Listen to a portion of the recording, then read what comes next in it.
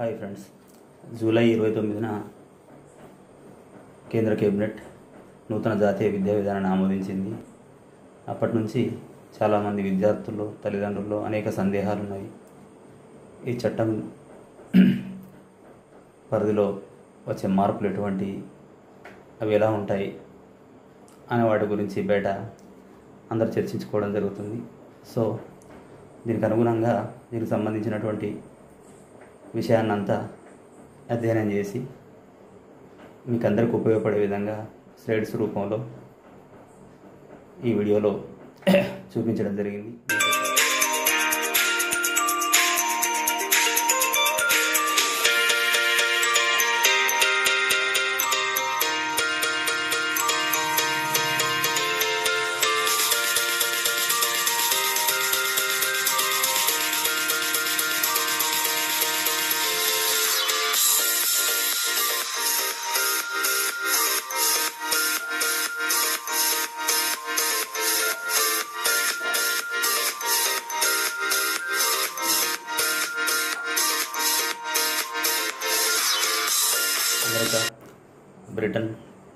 Germany Israel ఇలాంటి ఎన్నో దేశాలు ఉపాధి అవకాశాలు అందిపుచ్చుకుంటున్నవి.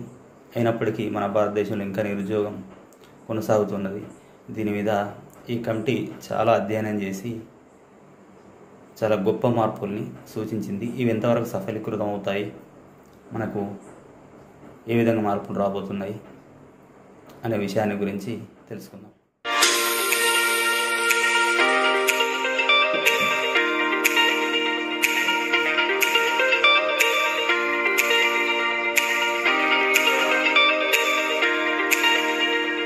ఎడ్యుకేషన్ పాలసీలో ప్రధానంగా తల్లిదండ్రుల్లో విద్యార్థుల్లో సందేహాన్ని ఆసక్తిని రేగొల్పుతున్నటువంటి ముఖ్యమైన అంశం ఏంటంటే కొత్తగా five plus three plus three plus four స్ట్రక్చర్లో పాఠశాల విద్య ఉండబోతుంది. ఇది గతంలో ఉన్నటువంటి టెన్ ప్లస్ టూ విధానానికి మార్పుగా చేపట్టబడింది.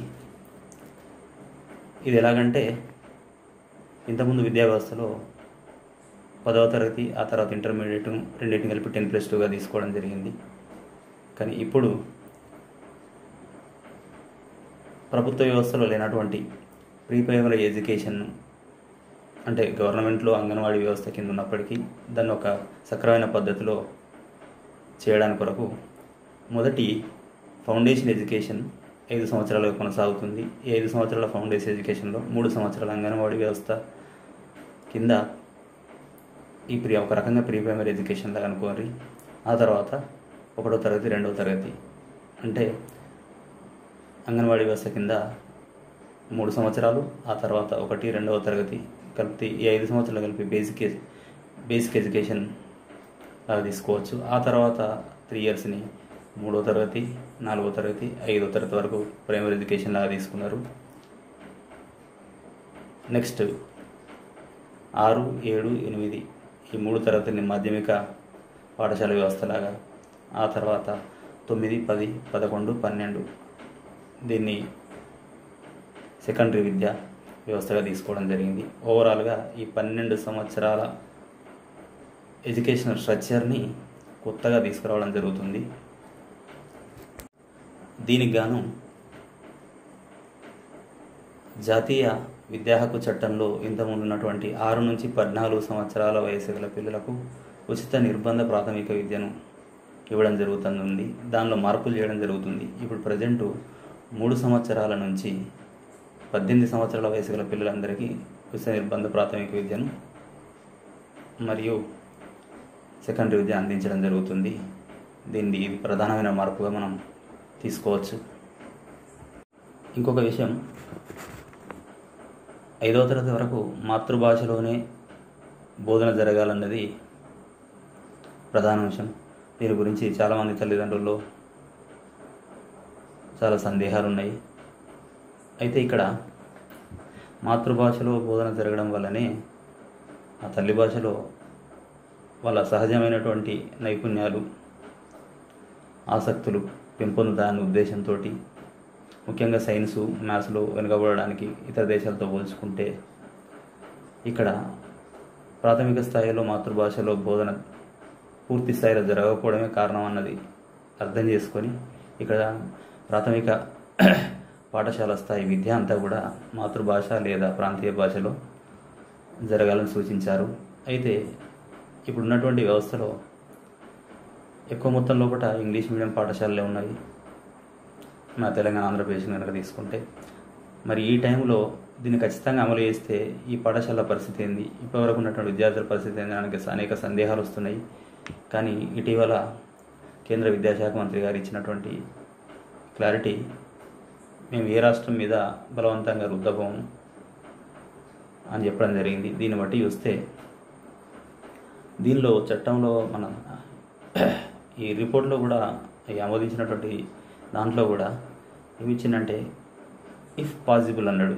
అంటే అది సాధ్యం అయితేనే చేయండి అన్నాడు. ఇది రాష్ట్రాలకే ఒక రకంగా స్వేచ్ఛ ఇచ్చినట్లయితే అది భవిష్యత్తులో చట్టరూపం దాల్చే నాటికి కేంద్ర ప్రభుత్వం సీరియస్గా తీసుకొని ఖచ్చితంగా అమలు చేయాల్సిందే అంటే చేయక తప్పదు. కానీ ప్రస్తుతం ఉన్న పరిస్థితిలో అలాంటిది జరుగుతుందని అనుకోవట్లేదు. నిజానికి విద్య కూడా ఇది ఉమ్మడి జాబితాలో ఉంది.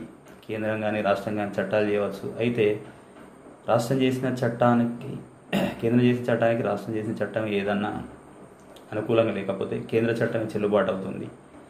కానీ వారు చెప్పినట్టుగానే వీటిని ఎటువంటి అంశాలైనా కూడా బలవంతంగా రుద్దము అని చెప్పారు కనుక ఇలాగే ఉంటుంది. అది కాకుండా మన ఆంధ్రప్రదేశ్లో తీసుకున్నట్టయితే కూడా ఇంగ్లీష్ మీడియం పాఠశాలలు ఇంగ్లీష్ మీడియం పాఠశాలలు మొదలు పెడతాయని చేస్తే అది కోర్టు దాకా వెళ్ళింది విషయం. దాని ప్రకారం చూసుకుంటే కూడా తల్లిదండ్రుల అభిప్రాయాన్ని సేకరించమని చెప్పింది.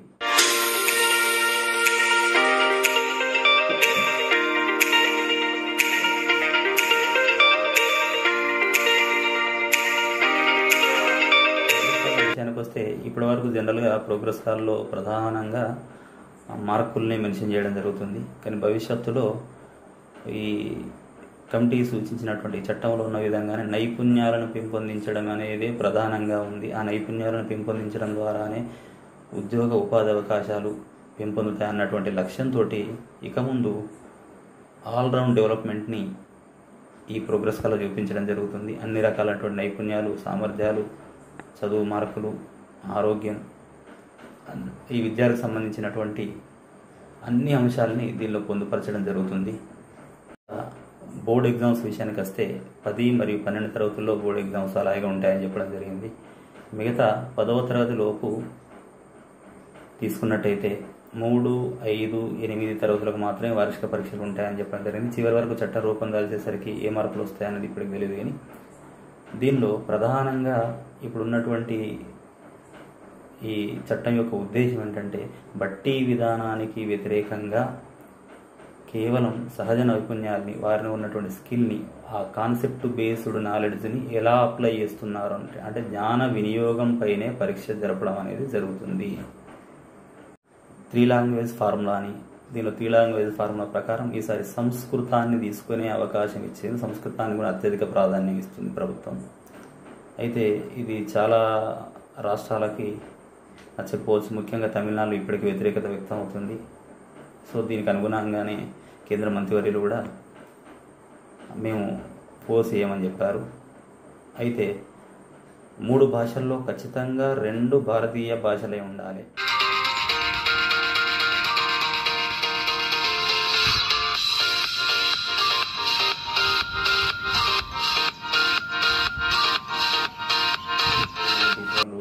వాళ్ళు వాళ్ళు ఇట్లా డిఫరెంట్ డిఫరెంట్గా ఎవరికి వారే ఉన్నారు.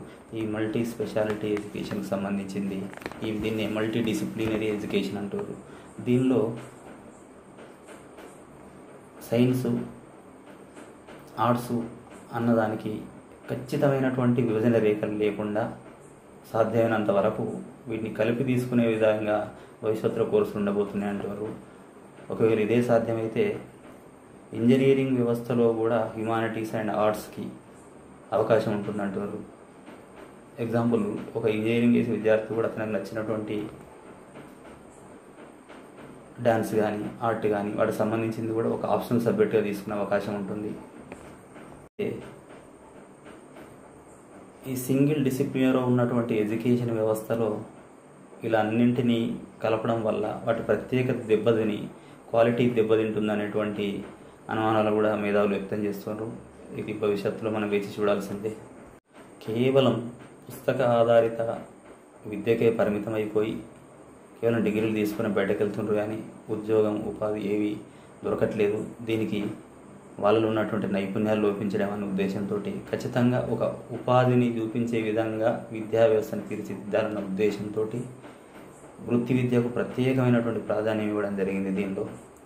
అందుకే వీరు చెప్పడం జరిగింది కనీసం ఏదైనా ఒక వృత్తి విద్యలో సెకండరీ స్థాయి వరకు నైపుణ్యం సంపాదించాలి అనేది వారు చెప్పడం జరిగింది. దీనికి అనుగుణంగా ఇప్పుడున్నటువంటి ఐటీఐలు పాలిటెక్నిక్లు ఇతర ప్రాంతీయ పారిశ్రామిక సంస్థలు ఏమన్నా ఉన్నట్టయితే లోకల్ పీపుల్ రకరకాల వృత్తుల వాళ్ళ సహకారం తీసుకొని ఈ వృత్తి విద్యల్ని అకాడమిక్ ఎడ్యుకేషన్తో పాటు నడిపించాలనేటువంటిది నిర్ణయం తీసుకోవడం జరిగింది. ప్రాంతీయ భాషల్లో సైన్సు మ్యాథ్స్ ఇతర టెక్నాలజీకి సంబంధించినటువంటి ఈ కాంటెంట్ రూపొందించాలా? ఈ ప్రాంతీయ భాషలకు ప్రాధాన్యతనివ్వాలి అని దీనిలో నిర్దేశించడం జరిగింది. దీనికి అనుగుణంగానే అనువాద సంస్థలు ఏర్పాటు చేయడం కానీ ప్రత్యేకమైనటువంటి ఎడ్యుకేషన్ టెక్నాలజీని పెంపొందించడానికి ప్రత్యేకమైన సంస్థల్ని కానీ స్థాపించడం జరుగుతుంది.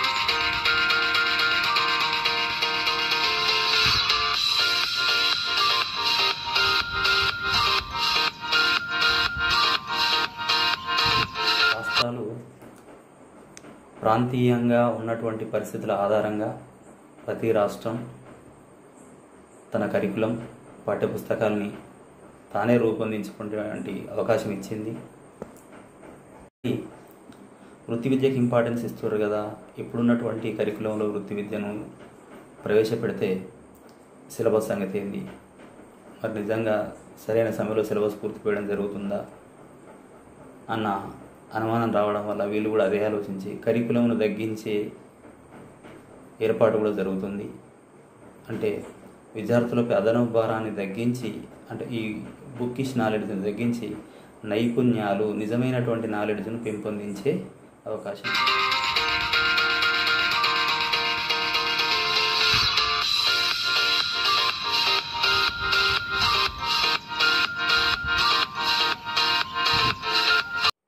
బరువును తగ్గించి నో బ్యాగ్ డే లాగా నో బ్యాగ్ డే డేస్ కూడా కొన్ని ఏర్పాటు చేయడం జరుగుతుంది. అలాంటి సందర్భాల్లో పిల్లలకి ఆర్టు వృత్తిపరమైనటువంటి శిక్షణలు ఆటలు ఇట్లాంటి సాంస్కృతిక కార్యక్రమాల్ని చేపట్టి వాళ్ళ కమ్యూనికేషన్ స్కిల్స్ డెవలప్ చేయడానికి నో బ్యాగ్ డేలో కూడా ఇక అండర్ గ్రాడ్యుయేషన్ ప్రోగ్రామ్ని మూడు లేదా నాలుగు సంవత్సరాలకు ఉంటుందని చెప్పడం జరిగింది. మూడు లేదా నాలుగు సంవత్సరాలు అంటే దీని ప్రత్యేకత ఏంటంటే ఇంతకుముందు మూడు సంవత్సరాల డిగ్రీ పూర్తి చేస్తేనే వారికి ఆ పట్టా వచ్చేది. కానీ ఇప్పుడు ఒక సంవత్సరం పూర్తి చేస్తే సర్టిఫికేట్ కోర్స్ అని రెండు సంవత్సరాలు పూర్తి చేస్తే డిప్లొమా సర్టిఫికేట్ ఇస్తున్నారు మూడు సంవత్సరాలు పూర్తి చేస్తే అండర్ గ్రాడ్యుయేట్ సర్టిఫికేట్ ఇస్తున్నారు నాలుగో సంవత్సరం పూర్తి చేస్తే వాళ్ళ పరిశోధనకు అనుగుణంగా అవసరాలకు అనుగుణంగా ఇచ్చే డిగ్రీ చెల్లుబాటు అవుతుంది. దీంట్లో ఉన్నటువంటి ప్రధాన అంశం ఏంటంటే విద్యార్థులకు స్వేచ్ఛ ఉంది వాళ్ళకు నచ్చినటువంటి సబ్జెక్ట్ను ఆప్షనల్గా తీసుకోవచ్చు. తర్వాత ఎంట్రన్స్ అండ్ ఎగ్జిట్ విధాన విధానంలో పిల్లలకు ఎక్కువ స్వేచ్ఛ ఉంటుంది.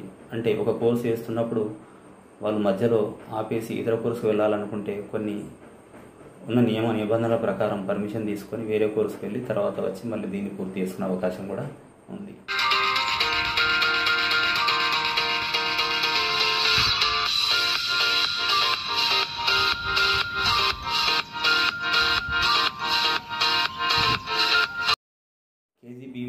విషయానికి వస్తే దీనిలో ఇప్పటివరకు పదో తరగతి ఉన్నది. దీన్ని పన్నెండవ తరగతి వరకు ఎక్స్టెండ్ చేయాల్సి వస్తుంది. దీంతో పాటే కేంద్రీయ విద్యాలయాలు కూడా ఇప్పటివరకు దానిలో ఒకటో తరగతి నుండే ఉన్నది. కానీ ఇప్పుడు మార్పులకు అనుగుణంగా ఈ ప్రీ- ప్రీ ప్రైమరీ ఎడ్యుకేషన్ లాగా ఉన్నటువంటి ఏది? బేసిక్ ఎడ్యుకేషన్ కొరకు. అంటే మొదటి ఐదు సంవత్సరాల ఫౌండేషన్ కోర్సులో ఉన్నటువంటి అంగన్వాడీ అక్కడే బయట తీసుకుంటే అంగన్వాడీ వ్యవస్థ కింద ఉండేటువంటి మూడు సంవత్సరాల విద్యా వ్యవస్థని కేంద్రీయ విద్యాలయాల్లో కూడా చేపట్టడం జరుగుతుందని చెప్పారు. అకాడమిక్ బ్యాంక్ ఆఫ్ క్రెడిట్స్ అనేటువంటి సంస్థను ఏర్పడడం జరుగుతుంది. దీని ఉద్దేశం ఏంటంటే విద్యార్థులు మధ్యలో ఒక కోర్సు నుంచి మధ్యలో ఆపేసి తమకు నచ్చినటువంటి వేరే కోర్సుకు వెళ్ళినప్పుడు ఈ కోర్సు సంబంధించినటువంటి క్రెడిట్స్ మార్కులు వాటిని దానిలో పొందుపరచడం జరుగుతుంది. వాటిని ట్రాన్స్ఫర్ చేసుకునే అవకాశం ఉంటుంది భద్రపరిచే అవకాశం ఉంటుంది.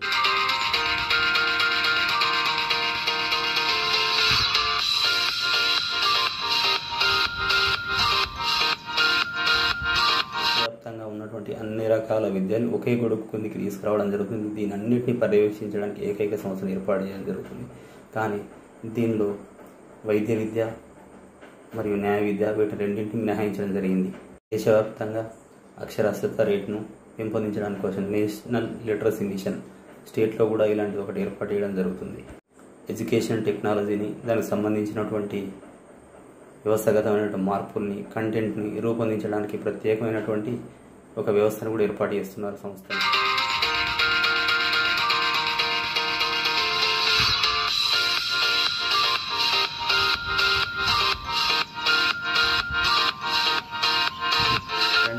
ఇప్పటివరకు భారతదేశంలోని విద్యా వ్యవస్థలో విద్యారంగానికి కేటాయిస్తున్నటువంటి నిధులు చాలా తక్కువగా ఉంటున్నాయి. కానీ ఈ చట్ట ప్రకారం జీడిపిలో ఆరు శాతం వరకు నిధుల్ని కేటాయించాల్సి ఉంటుందని చెప్పడం జరిగింది. Please like, share, and subscribe.